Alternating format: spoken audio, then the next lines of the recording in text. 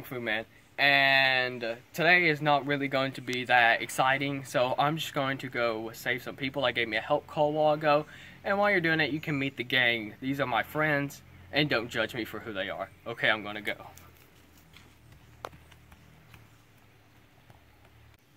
What are you jackasses up to? What are you dumb kids doing? All my time in this world, and y'all can't think of something smart to do. Huh? Kung Fu Man just went and like saved another person. What doesn't make him a good person? I'm pretty sure he is. He's better than you. No, he ain't. Ah, I'm the best person there is in this land. There's nothing you can tell you about that. Nothing. Hey, it's me, Biker Joe. And you know what people always ask me? No one asked you anything. Why am I so awesome? So, and I'll tell you why I'm so awesome. Because when I was 13 years old, I was going up a ramp on like a motorbike or whatever that thing is, and I jumped 20 cars and plus like three elephants. Then I landed on the ground and I was unconscious. And then I woke up uh, a few days later in a hospital, and then the doctor looked at me and he said, Well, for three days you were a girl. And I was like, Whoa, that's sick, bro. And then I just looked at him and said, Man, is there anything I can do? And he says, Yeah, you've been diagnosed with awesomeism. I'm like, Oh, yeah. So, yeah, that's, that's what happened. I'm a thug, dog. Man, you know who you're messing with? Man, my name's Cody. And you know what I do? What? Nothing. I sit around all day. I eat all the junk food I want. No one tell me what to do. That doesn't make you a thug. Yeah, it does. I've been in almost every gang. It's like three of them in this area. Probably one. I made that. I made one by myself. Anyways, man, I'm like disrespectful and stuff. You know, when it's out raining, I don't even put my hood on. But when I'm in class, I wear my hood. My teacher tell me to put it on. I'm like, no, man.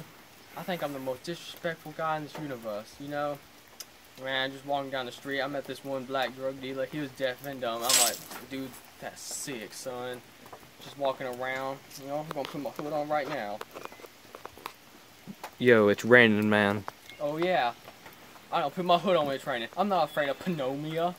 Yeah, all them people get disease. Stan Lee died from it. I'm tougher than that nibble. Man, I think I'm awesome. I'm awesome. Hello, my name is Jeski and I'm from Kazakhstan.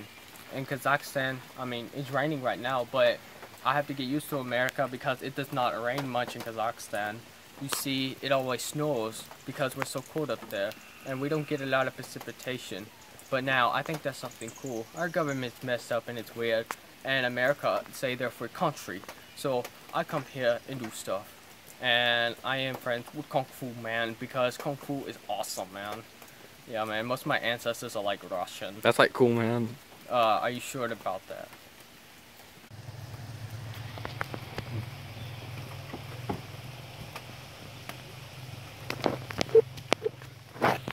Well, did you save them? No. Alright, did you meet the gang? Yeah. Okay. They're great, aren't they? No, they're weirdos. Oh. Yeah. Anyways, um, so no, it wasn't. They were just like, I came over there, and they were trying to call the cops, but accidentally called me. Basically, they're getting a dog drunk and tasing it. Really? That's kind of awful. no, I'm just kidding, they didn't. They actually poured peroxide on a cat and lit it on. Think it's a game. Daddy, daddy,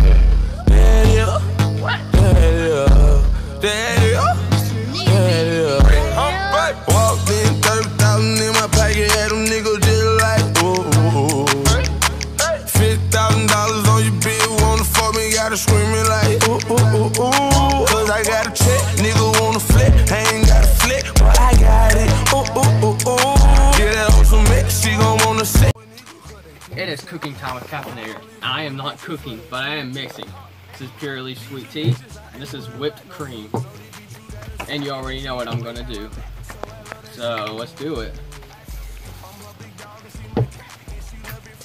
Who's ready?